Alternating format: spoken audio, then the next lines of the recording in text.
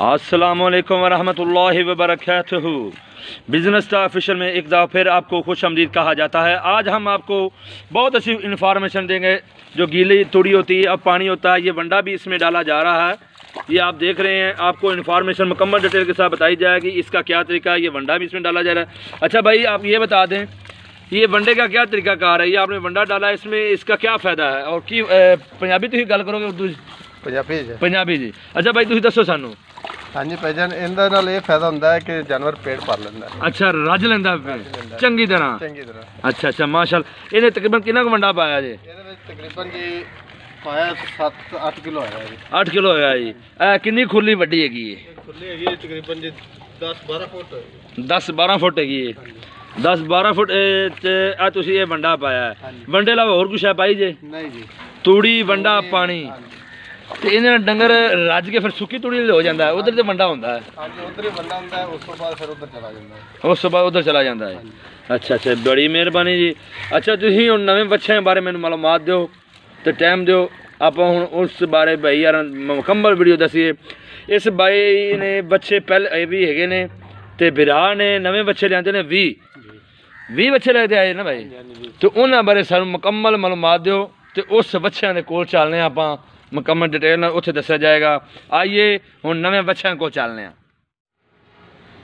ਅਸਲਾਮ ਵਾਲੇਕੁਮ ਵਰਹਿਮਤੁਲਾਹਿ ਵਬਰਕਾਤੁਹੂ ਭਾਈ ਜਾਨ। ਵਾਲੇਕੁਮ ਸਲਾਮ। ਭਾਈ ਕੁਦਰਤੁल्ला ਕੀ ਹਾਲ ਚਾਲ ਹੈ? ਠੀਕ ਠਾਕ ਭਾਈ। ਭਾਈ ਤੁਹਾਡੇ ਕੋਲ ਅਸੀਂ ਤਕਰੀਬਨ ਚੌਥੀ ਪੰਜਵੀਂ ਦਫਾ ਆ ਚੁੱਕੇ ਹਾਂ ਹੁਣ। ਜੀ ਭਾਈਜਾਨ ਕਿਉਂਕਿ ਤੁਸੀਂ ਹੁਣ ਬੱਚੇ ਲੈਂਦੇ ਨੇ ਨਵੇਂ। ਹਾਂਜੀ। ਤੇ ਕੁਝ ਪੁਰਾਣੇ ਵੀ ਹਨ। ਹਾਂਜੀ। ਅੱਛਾ ਸਾਨੂੰ ਥੋੜੀ ਜਿਹੀ ਇਨਫੋਰਮੇਸ਼ਨ ਦਿਓ। ਅੱਛਾ ਜਿਹੜੇ ਆ ਬੱਚੀ ਨੇ ਚਾਲੁਸਤਾਨੀ ਇਹ ਕਿਹੜੀ ਕਿਹੜੀ ਨਸਲ ਦੇ ਬੱਚੇ ਹੁਣ ਲੈ ਤੇ ਆਏ ਜੀ? ਇਹ ਹੁਣ ਲੈ ਕੇ ਆਇਆ ਭਾਈਜਾਨ ਕੋਈ ਕਰਾਸ ਹੈਗੇ ਨੇ ਜੀ। ਕੋਈ ਚੋਲਸਤਾਨੀ ਨੇ ਜੀ ਜੀ। ਕੋਈ ਸਾਈਵਾਲ ਨੇ। ਕੋਈ ਸਾਈਵਾਲ ਦੇ ਕੋਈ ਚਾਲੁਸਤਾਨੀ ਕੋਈ ਕਰਾਸ ਹੋ ਹਾਂਜੀ। ਜਿਵੇਂ ਅੱਜ ਚੀਨੇ ਨਜ਼ਰ ਆ ਰਹੇ ਨੇ। ਹਾਂਜੀ। ਹਾਂਜੀ। ਅੱਛਾ ਭਾਈ ਜਦੋਂ ਤੁਸੀਂ ਇਹ ਕਿੰਨੇ ਬੱਚੇ ਲੈ ਕੇ ਆਏ ਜੀ? ਅਸੀਂ ਭਾਈਜਾਨ ਇਥੋਂ ਸੇਲ ਕੀਤੇ ਸੀ ਤਕਰੀਬਨ 25 30 ਜਾਨਵਰ। ਅੱਛਾ ਅੱਛਾ। ਤੇ ਅਸੀਂ ਹੁਣ ਹਰ ਮੰਡੀ ਤੇ ਜਾਈਦਾ ਤਕਰੀਬਨ 15 20 15 20 ਲੈ ਕੇ ਆਈਦੇ ਨੇ। ਮਿਸਾਲ ਤੋਂ ਹੁਣ ਮੰਡੀਆਂ ਅਸੀਂ- ਸਾਨੂੰ ਸਾਨੂੰ ਮੰਡੀਆਂ ਦੇ ਨਾਮ ਹੀ ਦੱਸ ਦਿਓ ਕਿਹੜੀ ਕਿਹੜੀ ਮੰਡੀ ਤੋਂ ਲੈ ਕੇ ਆਉਂਦੇ ਪਏ ਮੰਡੀ ਭਾਈਜਾਨ ਅਸੀਂ ਜ਼ਿਆਦਾ ਜਿਹੜਾ ਨਾ ਲਾਹੌਰ ਵਾਲੀ ਮੰਡੀ ਤੋਂ ਲੈ ਕੇ ਆ ਰਹੇ ਹਾਂ। ਅੱਛਾ ਅੱਛਾ ਲਾਹੌਰ ਵਾਲੀ ਮੰਡੀ ਤੋਂ? ਹਾਂਜੀ। ਅੱਛਾ ਜੀ ਤੇ ਜਦੋਂ ਲੈ ਤੇ ਆਏ ਜੇ ਹਾਂਜੀ। ਬੱਚੇ ਹਾਂਜੀ। ਉਥੋਂ ਕੀ ਰੇਟ ਮਿਲੇ ਨੇ ਜਾਂ ਫਿਰ ਉਸ ਮੁੱਟੇ ਦੇ ਹਿਸਾਬ ਤੇ ਲੈ ਜਾਂਦੇ ਨੇ? ਨਹੀਂ ਭਾਈਜਾਨ ਉੱਥੋਂ ਮੋਟੇ ਦਾ ਹਿਸਾਬ ਹੁੰਦਾ ਜੀ। ਇਹ ਜਾਨਵਰ ਕਿੰਨੇ ਦਾ ਦੇਣਾ ਜੀ ਉਹ ਕਹਿੰਦਾ 50000 ਆ। ਹਾਂਜੀ। ਅਸੀਂ ਉਹਨਾਂ ਨੂੰ ਕਹਿੰਨੇ ਕਿ ਭਾਈਜਾਨ ਨੇ ਅਸੀਂ ਦਿੰਨੇ ਦਾ 45000 ਆ। ਹਾਂਜੀ ਬਿਲਕੁਲ ਜੀ। ਉਹ ਉਹਨੂੰ ਵਾਰੇ ਆਏਗਾ ਉਹ ਦੇ ਦੇਗਾ ਉੱਥੋਂ ਇੰਜ ਹੁੰਦਾ ਜੀ। ਅੱਛਾ ਮੁਖਤਲਿਫ ਮੁਖਤਲਿਫ ਰੇਟ ਤੇ ਮੁਖਤਲਿਫ ਹਿਸਾਬ ਤੇ। ਜਿਹੋ ਜਿਹਾ ਜਾਨਵਰ ਉਹੋ ਜਿਹਾ ਰੇਟ। ਅੱਛਾ ਬਿਲਕੁਲ ਸਹੀ ਹੋ ਗਿਆ। ਅੱਛਾ ਕਦੇ ਇਧਰ ਲੁੱਡਣ ਮੰਡੀ ਦੇ ਸਾਈਡ ਤੋਂ ਬੱਚੇ ਲਿਆਂਦੇ ਜੇ? ਭਾਈਜਾਨ ਲੁੱਡਣ ਮੰਡੀ ਤੇ ਅਸੀਂ ਲੈ ਕੇ ਆਏ ਆ ਇੱਥੇ ਤਕਰੀਬਨ 8 ਕੁ ਜਾਨਵਰ ਆਏ ਨੇ। 8 ਜਨਮ ਲੁੱਡਣ ਮੰਡੀ ਦੇ ਨੇ? ਪਰ ਲੋ ਸਾਡੀ ਸਮਝ ਚ ਉਹ ਮੰਡੀ ਨਹੀਂ ਆਉਂਦੀ ਉਹ ਤੁਹਾਡੀ ਸਮਝ ਮੰਡੀ ਨਹੀਂ ਆਈ? ਨਹੀਂ ਆਈ। ਯਾਨੀ ਕਿ ਤੁਹਾਡੇ ਵਾਸਤੇ ਲਾਹੌਰ ਮੰਡੀ ਬੈਸਟ ਹੈ। ਬੈਸਟ ਸ਼ਾਹਪੁਰ ਹੈ ਲਾਹੌਰ ਮੰਡੀ ਜਿਹੜੇ ਸ਼ਾਹਪੁਰ ਜਿਹਨੂੰ ਖਾਦੇ ਨੇ। ਹਾਂ। ਬਿਲਕੁਲ ਸਹੀ ਹੋ ਗਿਆ ਜੀ। ਅੱਛਾ ਜਦੋਂ ਤੁਸੀਂ ਇਹ ਤਕਰੀਬਨ ਕਿੰਨੇ ਬੱਚੇ ਲੈ ਤੇ ਆਏ ਜੋ ਹੁਣ? ਹੁਣ ਅਸੀਂ ਤਕਰੀਬਨ ਜੀ 20 ਬੱਚੇ ਲੈ ਆਏ 20 20 ਲਿਆਂਦੇ ਜੇ ਤੇ ਵੇਚੇ ਕਿੰਨੇ ਜੇ? ਤਕਰੀਬਨ 25 30 ਵੇਚ ਗਏ ਵੇਚੇ ਨੇ। 30 ਕੁ ਤਕਰੀਬਨ ਵੇਚ ਗਏ ਵਿਕ ਗਏ ਨੇ। ਆਹੋ ਅੱਗੇ ਨਾ ਹੌਲੇ ਹੋਏ ਖਰੇ ਜਾਨਣ ਮਾਸ਼ਾਅੱਲਾ। ਅੱਛਾ ਜੀ। ਅੱਛਾ ਤੁਸੀਂ ਇਹ ਜਿਹੜੇ ਬੱਚੇ ਤੁਸੀਂ ਨਵੇਂ ਲਿਆਂਦੇ ਨੇ ਹਾਂਜੀ। ਇਹਨਾਂ ਬਾਰੇ ਸਾਨੂੰ ਥੋੜਾ ਜਿਹਾ ਦੱਸਿਆ ਜੇ। ਜਦੋਂ ਤੁਸੀਂ ਇੱਥੇ ਆਪਣੇ ਇਸ ਫਾਰਮ ਤੇ ਲੈ ਤੇ ਆਏ ਜੇ ਹਾਂਜੀ। ਇਹਨਾਂ ਸਭ ਤੋਂ ਪਹਿਲਾਂ ਕੀ ਕੀਤਾ ਜੇ? ਇਹਨਾਂ ਸਭ ਤੋਂ ਪਹਿਲੇ ਭਾਈਜਾਨ ਡਵਰਮਿੰਗ ਹੁੰਦੀ ਹੈ। ਡਵਰਮਿੰਗ ਹੁੰਦੀ ਹੈ। ਹਾਂਜੀ। ਤਕਰੀਬਨ ਕਿੰਨੀ ਕੁ ਹਿਸਾਬ ਤੇ ਹੁੰਦੀ ਹੈ? ਕੀ ਹਿਸਾਬ ਕਿਤਾਬ ਹੈ? ਟੀਕੇ ਦੀ ਕੋਈ ਹਿਸਾਬ ਹੁੰਦਾ ਹੈ ਜਾਂ ਕੋਈ ਹੋਰ ਕੋਈ ਦੇਸੀ ਕੋਈ ਪਿਆਲੀ ਵਗੈਰਾ ਕੋਲੀ ਭਾਈਜਾਨ ਡਰਾਫ ਕਿਹਾ ਜਾਂਦਾ ਉਹਨੂੰ। ਡਰਾਫ ਉਹਦੇ ਉੱਤੇ ਸ਼ੀਸ਼ੀ ਹੁੰਦੀ ਫਿਰ। ਅੱਛਾ ਸ਼ੀਸ਼ੀ ਹੁੰਦੀ ਹਾਂ, ਹੁੰਦੀ 25 ਸ਼ੀਸ਼ੀ ਦੇਣੀ ਹੈ 30 ਦੇਣੀ ਹੈ 50 ਦੇਣੀ ਹੈ ਜਿੰਨੀ ਦੇਣੀ ਹੈ ਉਹਦੇ ਉੱਤੇ ਨਿਸ਼ਾਨ ਲੱਗਿਆ ਹੁੰਦਾ। 25 ਜਾਂ 30 ਜਾਂ ਹਾਂਜੀ। ਜੇ 50 ਜਾਂ ਉਹ ਜਾਨਵਰ ਦੇ ਵਜ਼ਨ ਉਹ ਦੇ ਹਿਸਾਬ ਨਾਲ। ਬੱਚੇ ਦੇ ਹਿਸਾਬ ਤੇ ਜੀ। ਹਾਂਜੀ। ਕੋਈ ਛੋਟਾ ਉਹਨੂੰ ਥੋੜੀ ਘੱਟ ਦੇਣੀ ਹੈ। ਘੱਟ ਦੇਣੀ ਜਿਹੜਾ ਵੱਡਾ ਉਹਨੂੰ ਥੋੜੀ ਜ਼ਿਆਦਾ ਦੇਣੀ ਜ਼ਿਆਦਾ ਹੈ ਦੇਣੀ ਹੈ। ਅੱਛਾ ਜੀ ਬਿਲਕੁਲ ਸਹੀ ਹੋ ਗਿਆ। ਤੇ ਇਸ ਤੋਂ ਇਲਾਵਾ ਜੀ ਇਹਨਾਂ ਕਿੰਨੇ ਕਿੰਨੇ ਦੇਰ ਬਾਅਦ ਖਾਣਾ ਸ਼ੁਰੂ ਕਰਤਾ ਸੀ? ਮਨ ਸਾਡ ਵਰਮੀ ਆਣਾ ਤੋਂ ਵਰਮੀ ਕਰ ਦਿੱਤੀ ਹੈ। ਜਦੋਂ ਲੈ ਹਾਂਜੀ। ਪੰਜ 6 ਦਿਨ ਤੋਂ 8 ਦਿਨ ਤੋਂ ਬਾਅਦ ਵਰਮਿੰਗ ਹੁੰਦੀ ਹੈ। ਅੱਛਾ 5 ਤੋਂ 6 ਦਿਨ ਬਾਅਦ ਵਰਮਿੰਗ ਹੋਈ ਹੈ। ਵਰਮਿੰਗ ਹੋਈ ਹੈ। ਉਸ ਤੋਂ ਬਾਅਦ ਹੁਣ ਇਹਨਾਂ ਦਾ ਜਿਹੜਾ ਇੰਜੈਕਸ਼ਨ ਹੈਗੇ ਨੇ ਉਹ ਇਹਨਾਂ ਨੂੰ ਲੱਗਣਗੇ। ਅੱਛਾ ਹੁਣ ਮਸਲਨ ਮੂੰਹ ਖੋਰ ਦਾ। ਅੱਛਾ ਮੂੰਹ ਖੋਰ ਵਾਲਾ ਜੀ। ਹਾਂ, ਗਲ ਗੋਟੂ ਦਾ ਗਲ ਕੋਟੂ ਦਾ। ਬਿਲਕੁਲ ਜੀ। ਇਸ ਤਰ੍ਹਾਂ ਦੇ ਹੁਣ ਟੀਕੇ ਲੱਗਣਗੇ ਜੀ।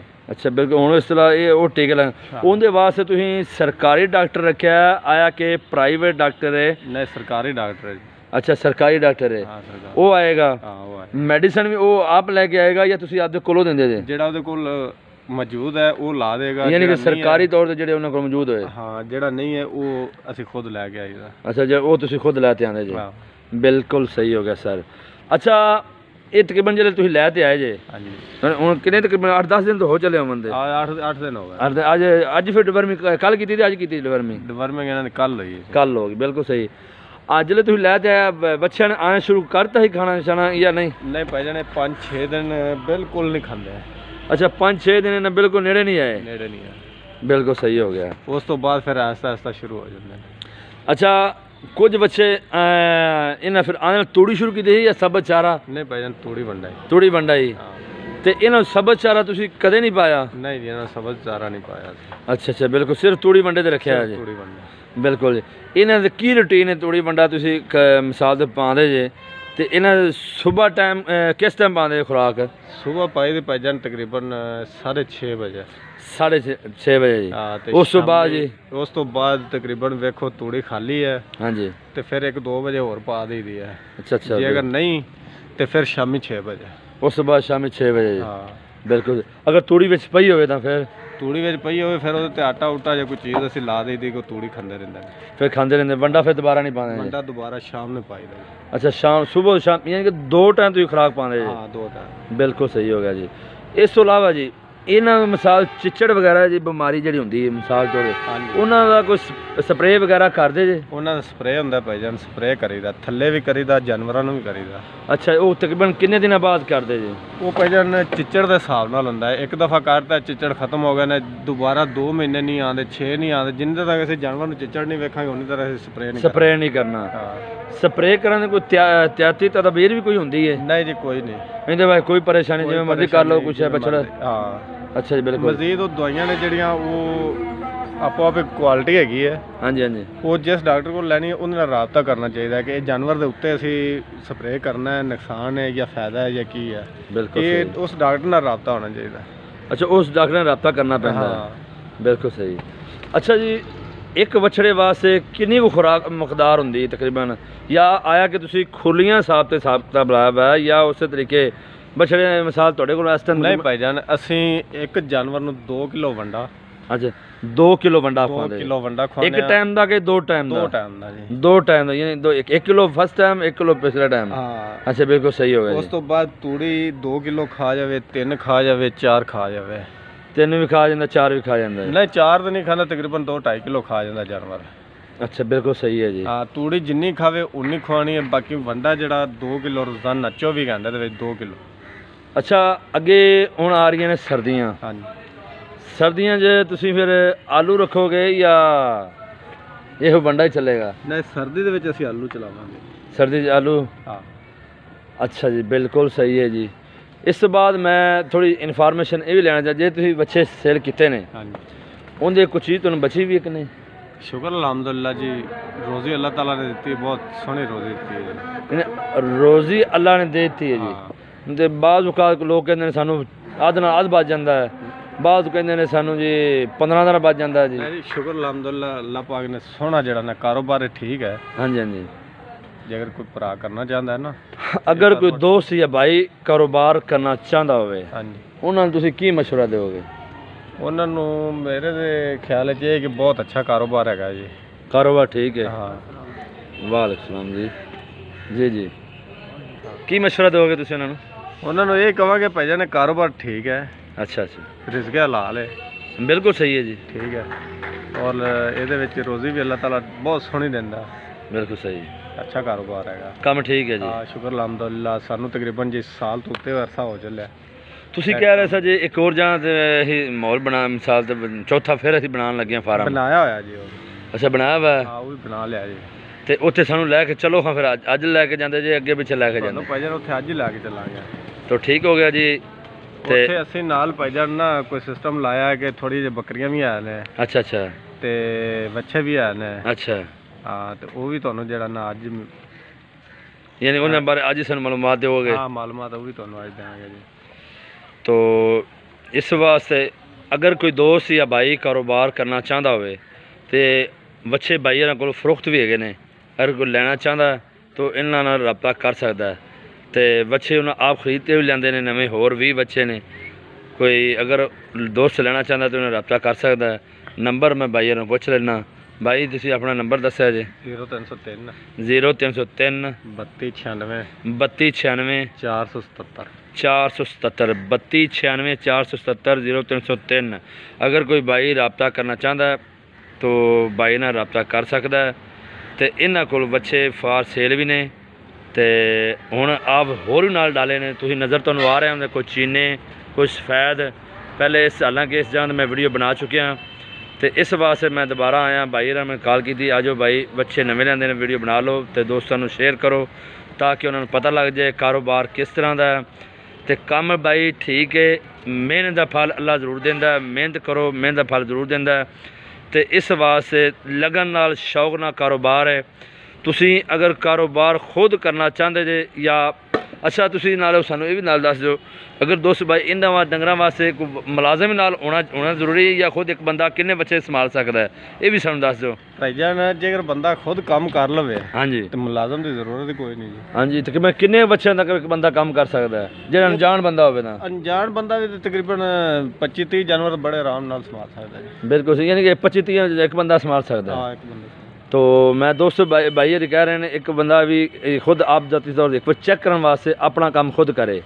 ਉਸ ਤੋਂ ਬਾਅਦ ਆਪਣਾ ਬੰਦਾ ਰੱਖ ਲਵੇ। ਅਸੀਂ ਹੁਣ ਚਾਰ ਫਾਰਮ ਬਣਾਏ ਨੇ ਚਾਰ ਮੁਲਾਜ਼ਮ ਨੇ ਜੀ। ਅੱਛਾ ਚਾਰ ਫਾਰਮ ਨੇ ਚਾਰ ਹੀ ਮੁਲਾਜ਼ਮ ਨੇ? ਚਾਰ ਹੀ ਮੁਲਾਜ਼ਮ ਨੇ। ਮਾਸ਼ਾਅੱਲਾ ਆ ਤੁਹਾਡੇ ਬੱਚੇ ਨਵੇਂ ਨੇ ਨਾ ਜੀ? ਹਾਂਜੀ ਆ ਨਵੇਂ ਆਏ ਨੇ। ਆ ਜਿਹੜੇ ਆ ਖੜੇ ਨੇ ਜੀ। ਹਾਂਜੀ। ਬਿਲਕੁਲ ਸਹੀ ਹੈ ਜੀ। ਮੈਂ ਹਨਾ ਚੀਨੇ ਚੀਨੇ ਤੇ ਕਾਲੇ ਕਾਲੇ ਜਿਹੜੇ ਬੱਚੇ ਨਵੇਂ ਨੇ। ਮੈਂ ਪਹਿਲਾਂ ਅੰਦਾਜ਼ਾ ਲਾ ਰਿਹਾ ਸਾਂ। ਅੱਛਾ ਜੀ ਯਾਨੀ ਕਿ ਫਿਰ ਉਹਨਾਂ ਵਾਸਤੇ ਫਿਰ ਚਾਰ ਮੁਲਾਜ਼ਮ ਉਹਨਾਂ ਇੱਕ ਬੰਦੇ ਦੀ ਤਨਖਾਹ ਕਿੰਨੀ ਤਕਰੀਬਨ ਹੈਗੀ ਜੀ?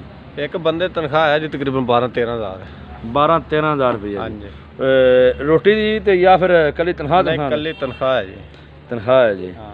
ਯਾਨੀ ਕਿ ਇਹਨਾਂ ਸਾਰਾ ਕੋਈ ਤਨਖਾਹ ਵੰਡਾ ਤੂੜੀ ਖਰਚਾ ਕੱਢ ਕੇ ਹਾਂ।